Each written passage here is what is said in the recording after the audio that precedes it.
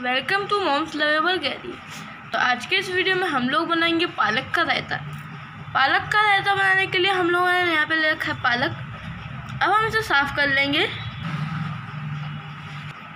साफ़ करने के बाद इसे धोकर कुकर में उबलने के लिए रख देंगे। तो ये हमारा पालक साफ़ हो चुका है।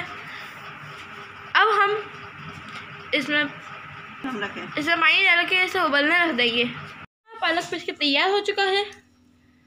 अब हम इसका रायता बना लेंगे। बनाने के लिए हम लोगों ने यहाँ पे अपना दही ले रखा है। अब हम इसमें ऐड करेंगे अपना पालक का पेस्ट ऐसे मिक्स कर देंगे।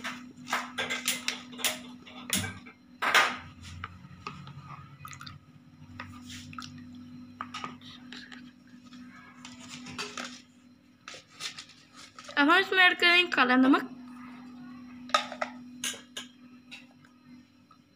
नमक, स्वाद अनुसार।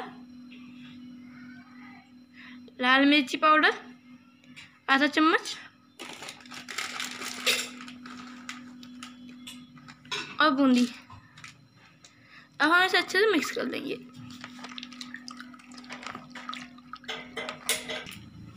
अब हम अपने रायते में हींग, जीरे का छौंका लगाएँगे।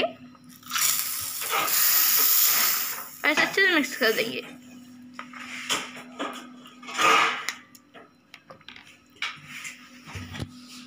ये हमारा टेस्टी रहता। तैयार हो चुका है।